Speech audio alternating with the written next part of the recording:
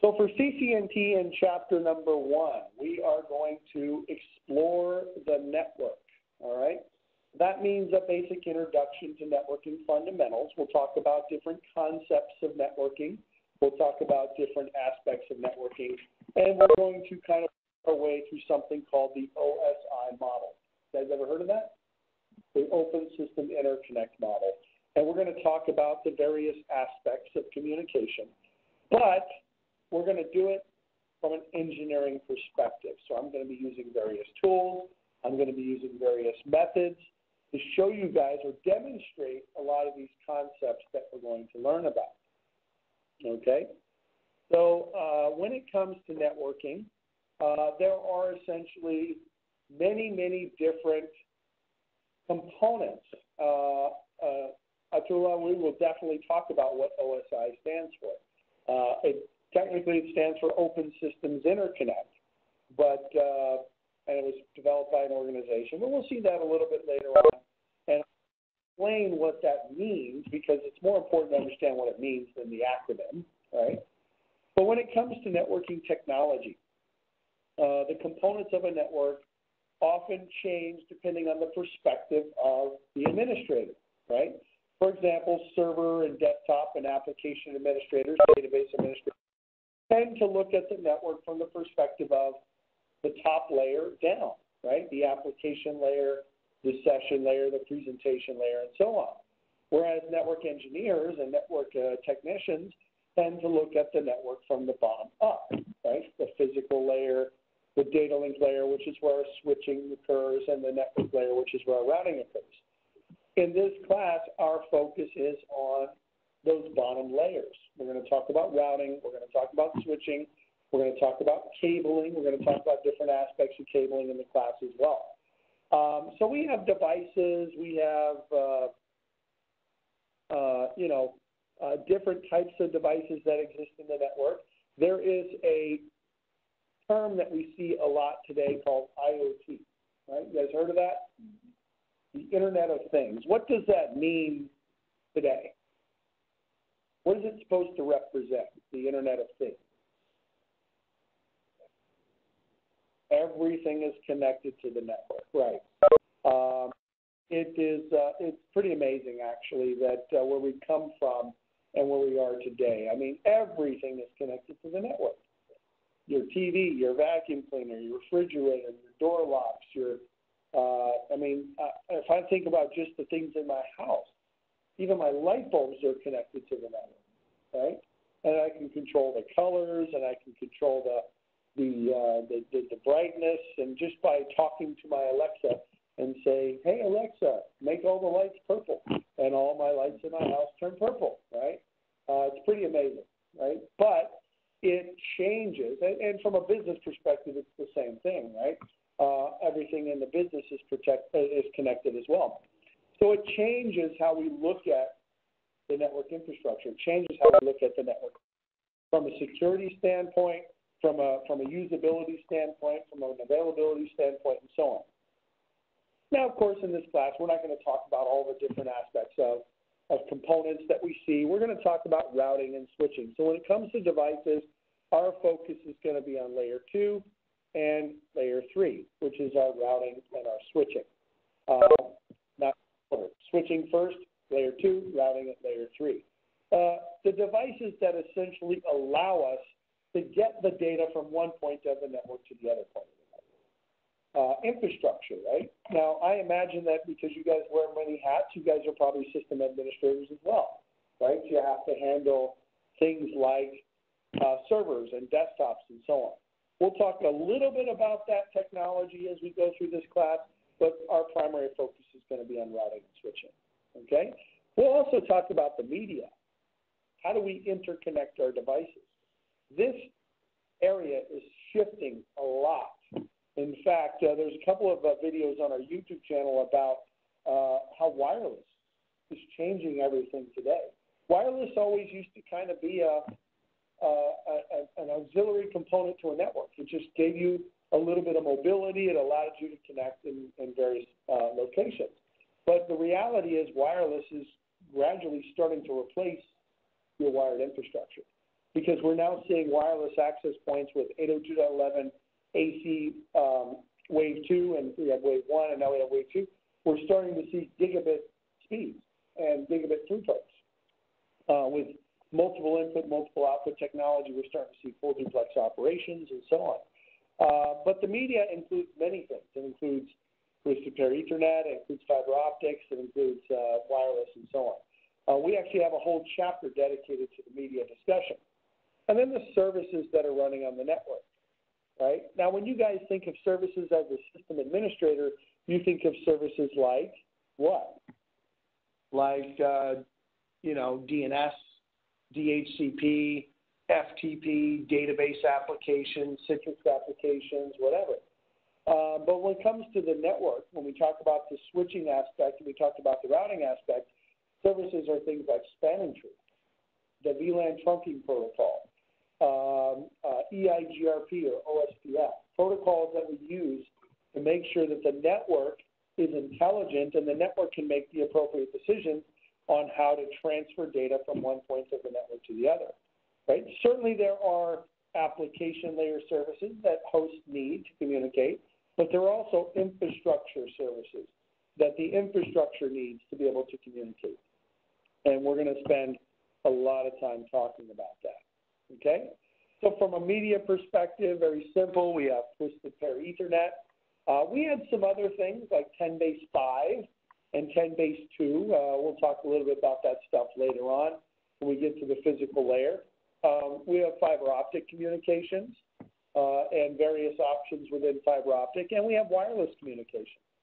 There's actually enough to talk about in the wireless space that there's a whole separate certification on wireless, CCNA wireless and CCNP wireless. Uh, we don't talk a lot about wireless in this class, um, but uh, we will kind of uh, take a look at a little bit of wireless as we move through the through the class. So the goal of any network is to ensure that we have connectivity, right? Make sure that we have the appropriate connectivity. Uh, and in order to be able to accomplish this in our infrastructure, in order to be able to accomplish this, in order to accomplish this connectivity, we have to have devices that are interconnected. So in most cases, you guys are going to be dealing with a local area network. That is the network that is uh, that allows connectivity between your devices within your enterprise, right?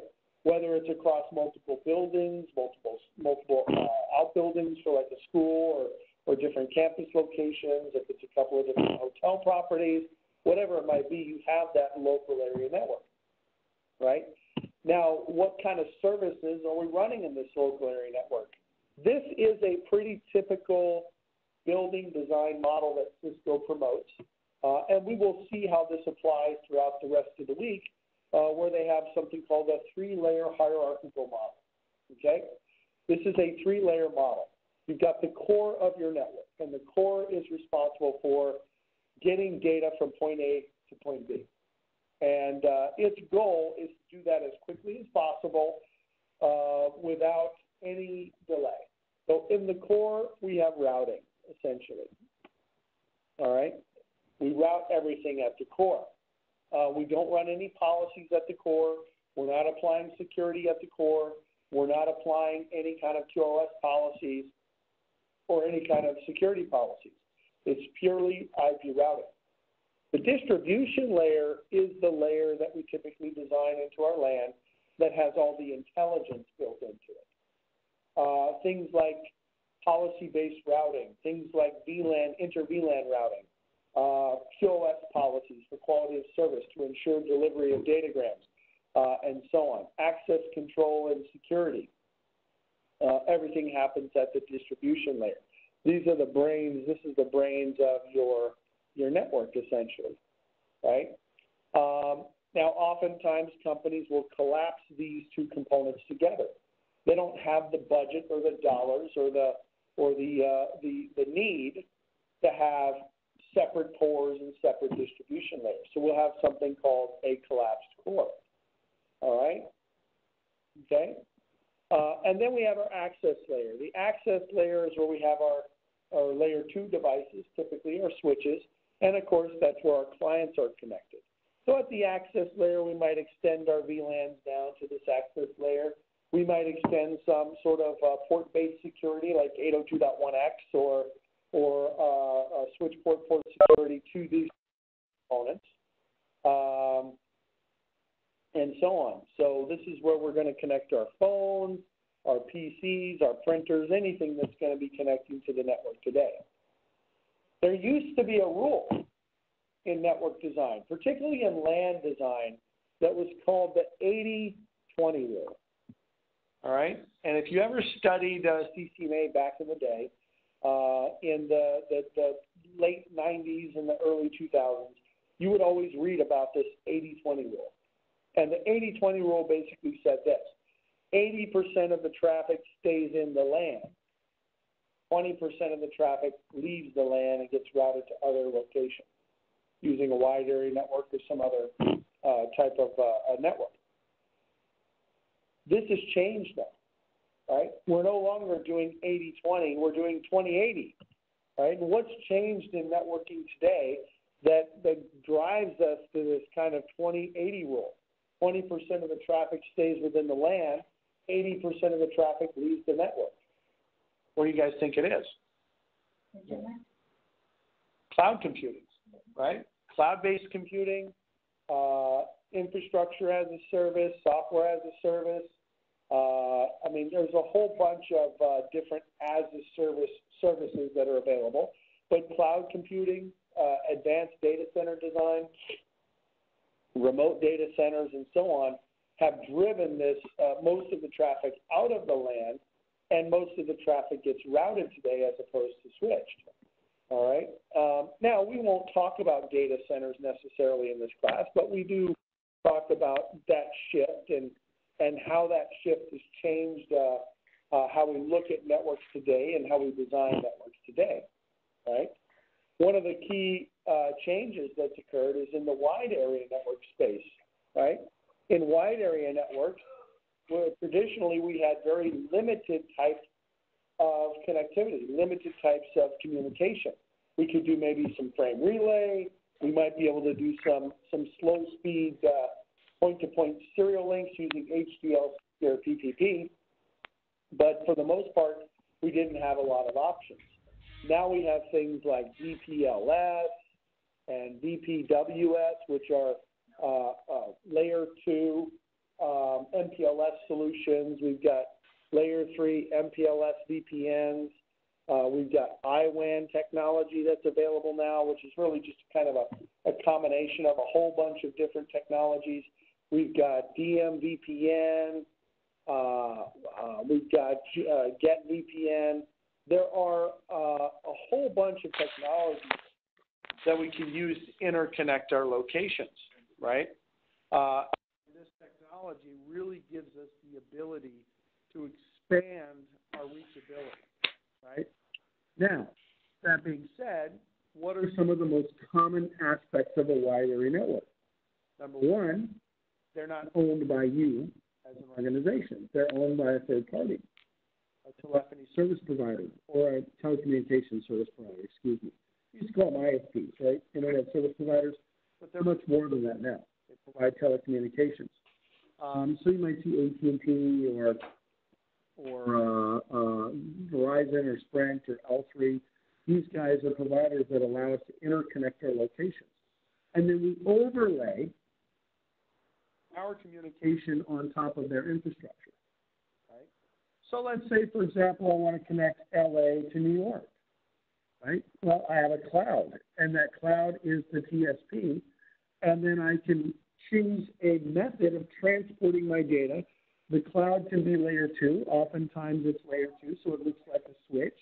But sometimes it can be layer three, where the service provider actually participates in your routing and so on. MPLS VPN is very much like that.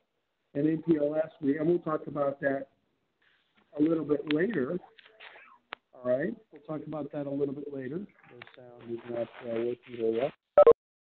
That back on, so you should be able to hear better now. Uh, we'll talk about that aspect a little bit later. We'll talk about MPLS and so on.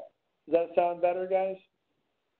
Sorry, I took off my speakerphone and then I Had to turn back on. Forgot. Okay? Using my cell phone, so I apologize. Okay? Uh, we'll actually talk about MPLS. Uh, we talked about MPLS in a very basic uh, concept, but uh, we will talk about some MPLS technology a little bit later on. Traditionally, the WAN itself has consisted of layer two protocols, right? These are some of those traditional. Uh, we haven't talked about the OSI model yet. We'll talk about that a little bit later, but these are some of those traditional WAN technologies frame relay, X.25, HDLC, uh, PPP, and so on. If we have time, the, the end of the class, we, we talk about these, these technologies. Hopefully, we'll have time to get through that. Sometimes we do, sometimes we don't. Okay? So anyway, that is uh, uh, that is the WAN. All right, and and what does the WAN allow us to do? It allows us to connect geographically dispersed locations. What is another characteristic of a WAN that's different from a LAN? How about speed and bandwidth? Right, the WAN is usually a much slower type of connection, you might be operating at maybe one megabit per second or maybe 10 megabits per second very, very rarely are you going to see, you know, this ability to support the LAN uh, at high speeds like we would see inside of the LAN. I mean, the LAN, we're dealing with speeds like, uh, uh, you know, of, of 10 gigs and, and 100 gigs now um, with this new technology. All right? Okay? An interesting aspect of this communication process is how we interconnect the globe, right? Uh, most people don't think about this. They think from the perspective of wireless or satellite communication and so on. But there's actually a, uh, a whole underground, literally underwater, I guess, of these different connections called submarine cables that allow us to interconnect all of our locations throughout the world. Right? These are fiber optic bundles that connect different continents to each other. And if I want to go from one continent to another, I run over these uh, these fiber optic communications. There's a website I just pulled it up, submarinecablemap.com, and you can actually it's an interactive website. And you can actually kind of look at where you are in the globe and how you're connected and so on. And all of these different colored lines here are literally fiber optic bundles that have been rolled off the back of a ship. They're very rarely buried. They're usually just, uh, we might do a little trench or we might just allow them to float down to the bottom of the ocean floor. But uh, these are actually literally cables that connect our world. Um, so, for example, if I wanted to go up to this continent here, or this these chain of islands, this is the cable that would be used literally to communicate to that uh, that chain of islands, right? Uh, it was installed in January of 2004. It's 2,700 kilometers, um, and it uh, connects to uh, uh, these two different locations in Norway. So, uh, whatever, however you say that. Say that so, all right, but um, that's how the globe is interconnected uh, through these submarine cables. Uh, you can see, obviously, we, we have quite a few different types of connections that go from from the United States to Asia, and then from the United States over to uh, to Europe and whatnot. Um, and uh, it's very interesting because I can do a trace route, for example, and I'm going to demonstrate this in a minute. But I can do a trace route to uh, uh, a different location, and I can almost predict what type of cable that traffic is going over just based on the landing points that I'm hitting as I'm as I'm moving through the network. All right inside the continent, right, inside most countries, we have infrastructure as well. We're very fortunate in the United States because we have lots and lots of competing internet service providers that are trying to get our business, right? In fact, a lot of them are tier one providers. Uh, tier one providers make up the internet. There's about 13, 14, 15 or something like that. I can't, don't quote me on that number, but uh, if you go out to Google and you search on tier one internet providers, uh, they are uh, the ones that make up the internet. They're the ones that have all the big routers. Uh, this is one of those routers. You can actually telnet to that router. uh, log in. It's a Juniper router, and you can see the internet backbone. You can see all the routes. There's millions and millions of routes on the internet. Um, what's interesting is about how traffic moves across the continent. That happens to be L3s. L3 is our tier one service provider. L3's uh, um, fiber optic network across the United States. Um, I don't know if you guys have ever noticed, but the next time you go out and you look at those high tension power lines, you know, the ones, the big towers, and they have lots and lots of power cables going across them, you'll notice that most of those lines have ceramic uh, insulators connecting the lines to the tower, except for the one on the top. The one on the top is fiber optic cable, right? And uh, because power lines actually provide, uh, you know, major connectivity to a lot of different cities and a lot of different locations. So we will often see how um, the backbones, these backbones are built on those power, those, towers, right? So it's very, very interesting. Um, but what's the most interesting thing? Uh, and this is uh, something that I think uh, um, really demonstrates this uh, this functionality. Is I can come to um, I can come into my little uh, command prompt here, and I can do a trace route. We'll talk about this a little bit later on to um, uh, Cisco.pw. Okay, and basically what it's is it's kind of give me an idea of what path I'm taking to get to that destination. Uh, sometimes it works, sometimes it doesn't work. It depends. We'll talk more about this tool a little bit later on, but the point that I want to make here, as this runs, is that my computer here is generating these datagrams. And by the way, it applies to this WebEx as well. We've got hundreds of people joined on the WebEx from all over the world and they happen to be seeing my slides and listening to my to my voice. Um, and I'm delivering this information across the globe in milliseconds. It's amazing, right? That I can generate little ones and zeros from my laptop and have them go all over the, the country and then eventually across some sort of, uh, of, of uh, you know submarine cable and reach their destination. Of course, I didn't pick a very good one because Cisco redirected me to a local uh, route because I'm in the United States. But in any event, we're talking about delivery in, you know, 100 milliseconds, 200, 500 milliseconds, and my data is going over a cable that's 10,000 kilometers long, you know, or 18,000 kilometers long underground or under the uh, ocean. It's pretty amazing when you think about it. Okay. So uh, even though it's kind of really not necessary to know for the test, it's interesting to look at, you know, this this infrastructure and see how everything is connected. You're starting to see a lot of companies now, um, like Google, and uh, um, and uh, who else? Uh, Google and um, can't think of it now. I know Verizon has done a few. They're running their own cables now because they want dedicated bandwidth to serve their, their clients. Uh, it's not cheap, obviously. You can imagine it's you know hundreds of millions of dollars to put one of these cables in. All right, um, and maybe even more. I don't know. Maybe miss. I don't know. All right. Is it regulation?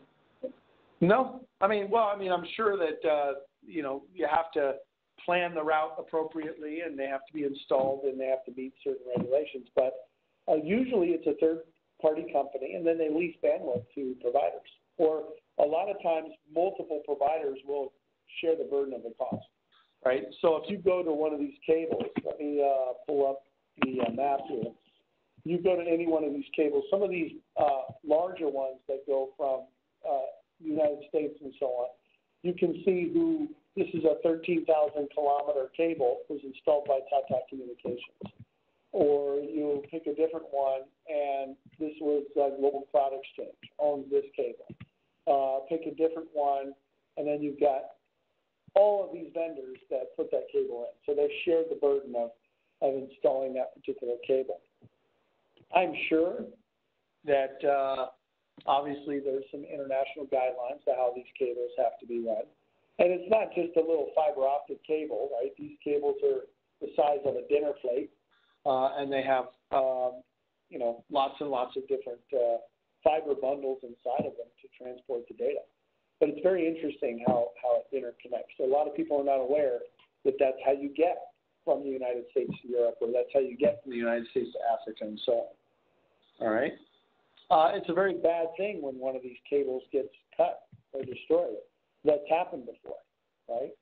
Um, where you might have, you know, a single cable that interconnects a location, uh, like for example, this one here that uh, connects, um, you know, uh, different locations.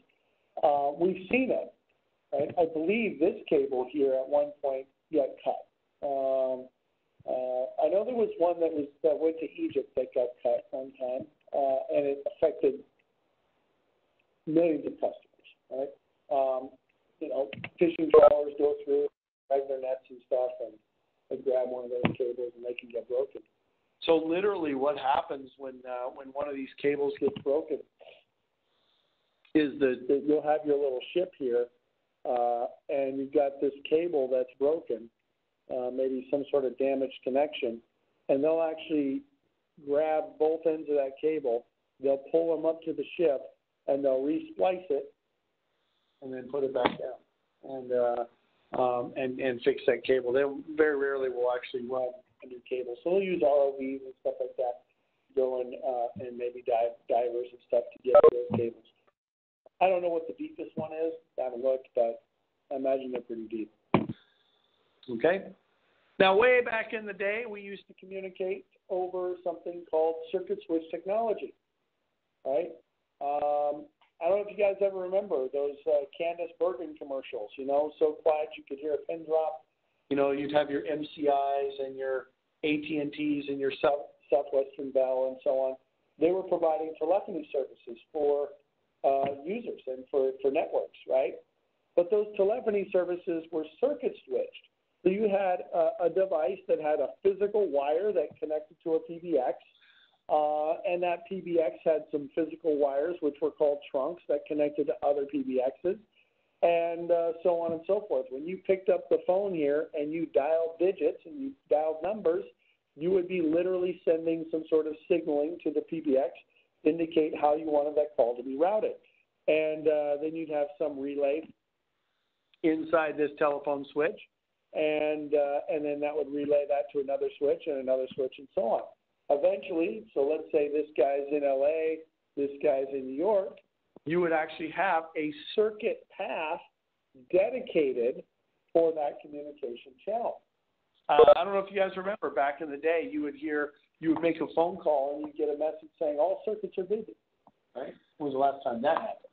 Unless you're overseas, it still happens overseas. But um, that's because there just weren't enough physical circuit paths to support the calling and support the transactions. Uh, that's not the way the networks work today. Even telephony networks don't work that way today, right? In fact, what have we shifted to? Not circuit switch, but hmm? well, even cellular cellular uh, devices fall under this new categorization of transporting data, packet switched, right? Everything is packetized. Uh, everything is packetized and sent over the network as data. Okay. Um, so, and, and, the benefit, of course, of having this packetized network and uh, being able to packetize this information is that we can now make intelligent decisions. Now we a gentleman here with a computer, but it could be a phone, right? In fact, most phones today are voice over IP or IP, uh, telephony devices, and they're going to take that data, they're going to convert it into some of uh, packet that's going to get sent over the network. Now that packet can be routed, it can be switched, and if a particular circuit path becomes busy or unavailable, we can reroute that data over a different path and so on. Okay, so we're taking our data, traditional data like voice and video, and we're now generating these packets and these datagrams so that we can transfer that data across the network. That's why, by the way, now we don't pay for long distance anymore, typically, um, because uh, because all of our voice is packetized and it's being sent over a data network that that's already been built to support other services, right? Um, and it's a very very big business, right, to packetize information and packetize data.